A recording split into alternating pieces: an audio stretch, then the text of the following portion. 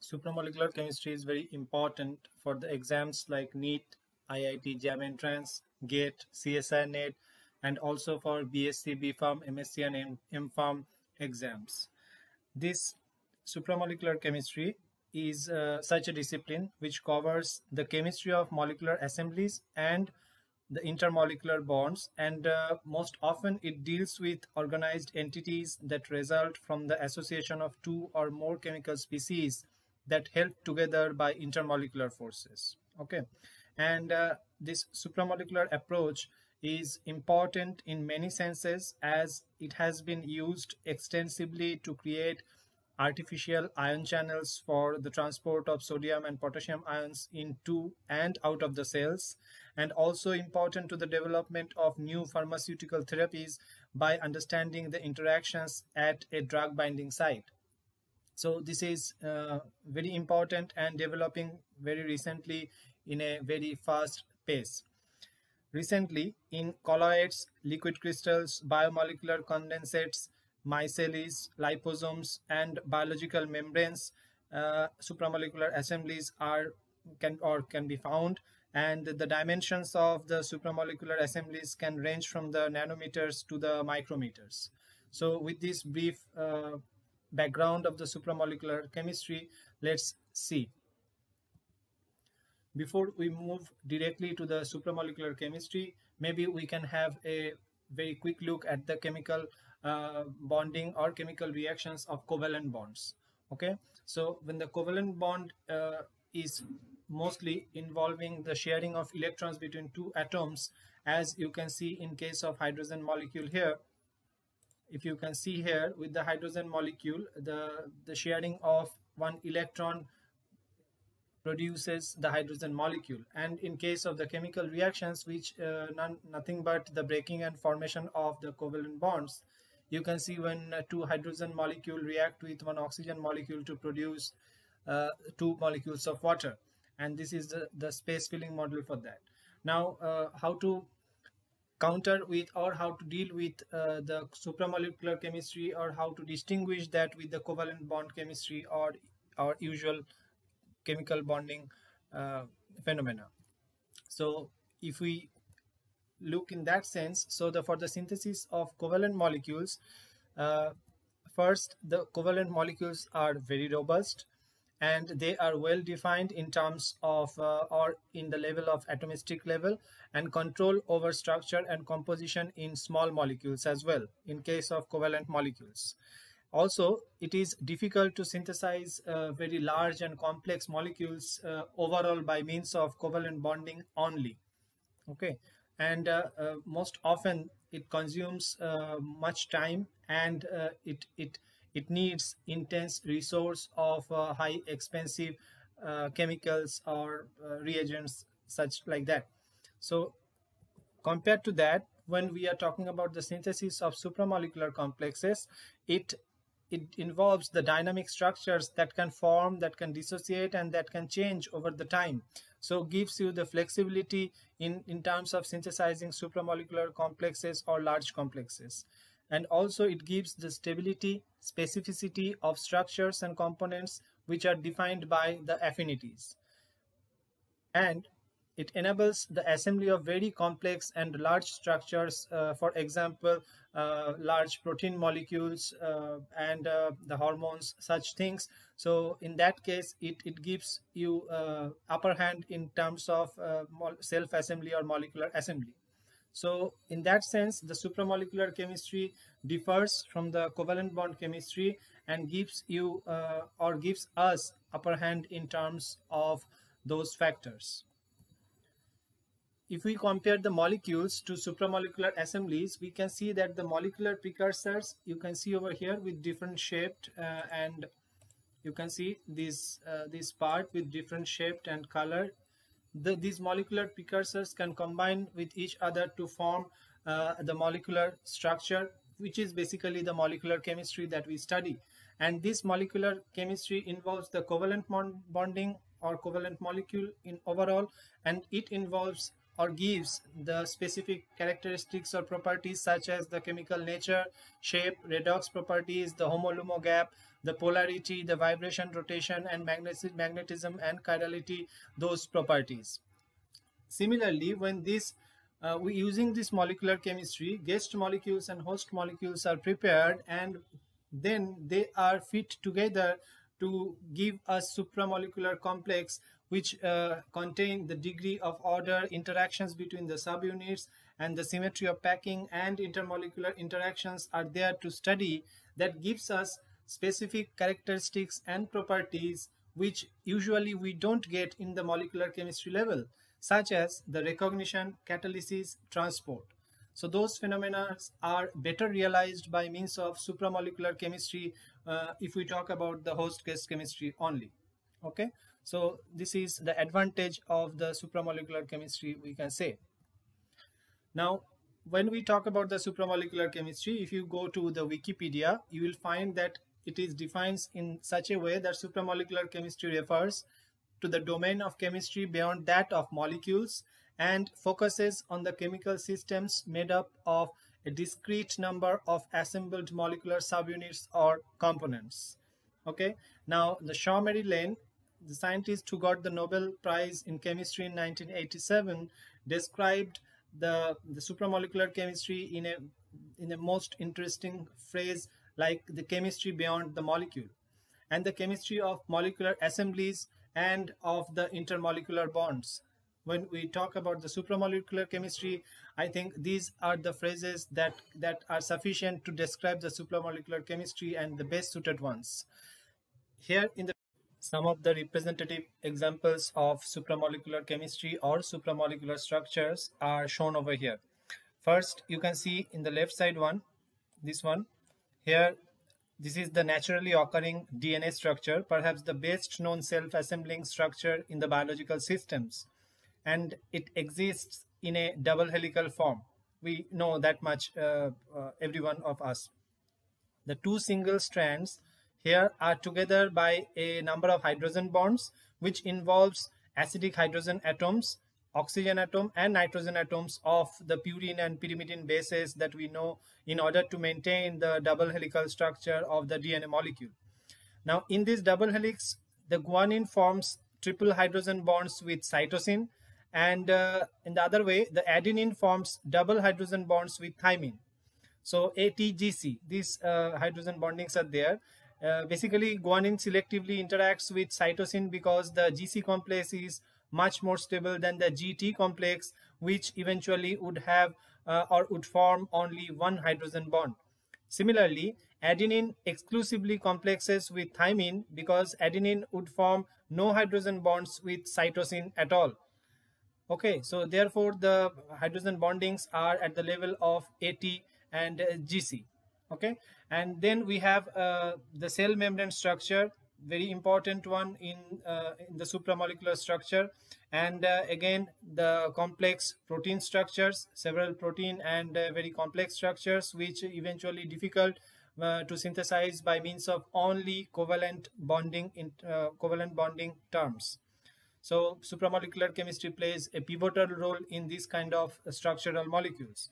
Then comes the this one.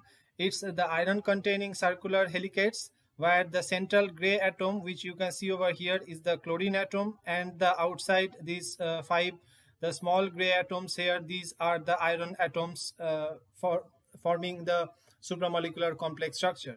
So additionally with this you can think of the molecular rotors or molecular machines uh, which are another beautiful examples and very important examples of supramolecular structures. So before I go into the classification of the supramolecular chemistry with these following supramolecular structure that have been shown here, uh, one thing is very important to mention that there exist a number of non-covalent interactions which play a major role in building of supramolecular blocks that we can see here. Okay, so among these uh, the uh, the non-covalent interactions, the most important or the strongest one is the ionic and the dipolar interactions, which also subdivided or maybe which also incorporate the ion-ion interactions, ion-dipole interactions or dipole-dipole interactions. So the mm, ionic or dipolar interactions can be classified into those three categories that I said just now. In addition to this one, uh, as I said in case of DNA molecule, hydrogen bonding is very important. Pi interactions are important. Van der Waals interactions are important. Uh, hydrophobic effects, solvent effects, those are also very important uh, forces, intermolecular forces and non-covalent interactions which plays a pivotal role forming supra supramolecular building blocks or complexes. Next, we should move to the classifications of supramolecular structures. Basically or broadly, it, it can be divided into two categories depending on the properties of the components and the interactions involved. And as you can see over here, these are mainly the, the host guest chemistry as you can see here and also the self-assembly. So these are the two main classifications that broadly involve or uh, classifies the supramolecular structures. And uh, in case of host guest and or you can say the lock and key mechanism or that chemistry, uh, in case of host guest chemistry, the larger molecule that binds at least one smaller compound is uh, in that case these are known as the host guest chemistry. And usually the larger molecule is known as the host and the smaller one is uh, treated as the guest molecule. And typically the discrete these discrete complexes can form larger structures through a self-organization process. Whereas in case of self-assembly the association of multiple components that are of approximately similar size uh, they they they combine together to form the self-assembly uh, or self-assembled structure in supramolecular uh, uh systems. It in case of self-assembly it can also result in the formation of discrete nanoscale structures and also the macroscopic complexes. So the the endeavor or the area which covers the self-assembly of supramolecular systems are uh, quite large in that sense. Here uh, it is it is important to mention that in case of host guest chemistry there can be example of the crown ethers.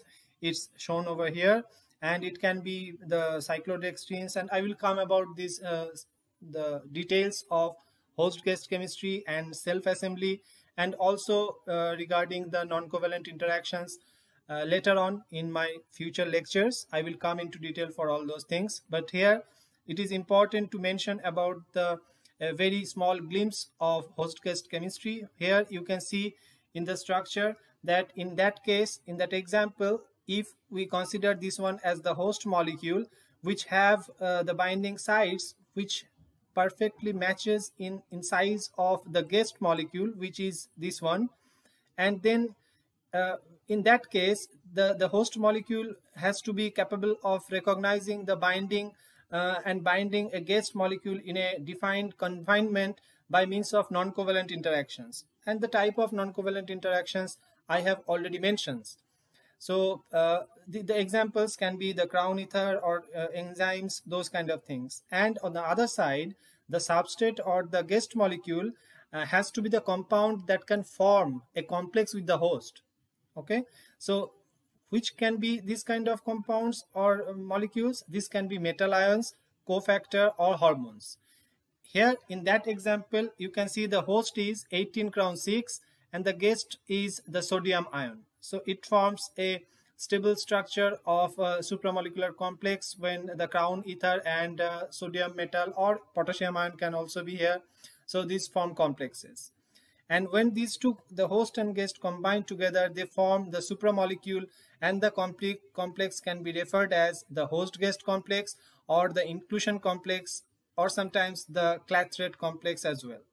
Another example for that one is when the host is the protein receptor, this the big one, the big structure, as I said, these generally uh, are often, more often the macrocyclic compounds acts as host molecule and the drug here which perfectly binds with the host molecule in the cavity is uh, the guest here.